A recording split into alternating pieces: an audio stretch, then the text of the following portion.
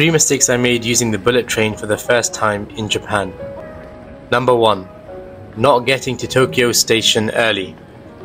I booked my Shinkansen ticket for 6.42 am using an app called Klook.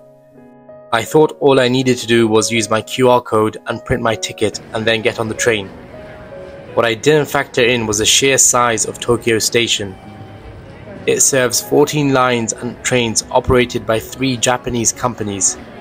So I spent a lot of time trying to figure out where this Shinkansen line was.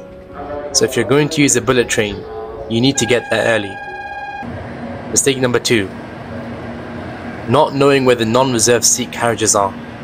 I booked a non-reserved seat, which means you need to enter carriages 1 to 3.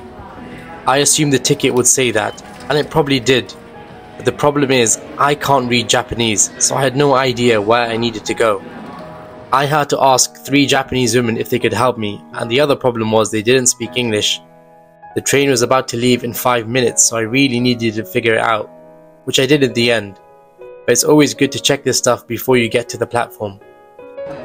And lastly, not trying the bento. It's almost a tradition for travelers to pick up a bento to eat while on the train. Because I hadn't factored the other two issues mentioned, I had no time to buy any food. So those are the three mistakes I made while using the bullet train for the first time in Japan. Finding him here. This is what it's outside. Snowing today.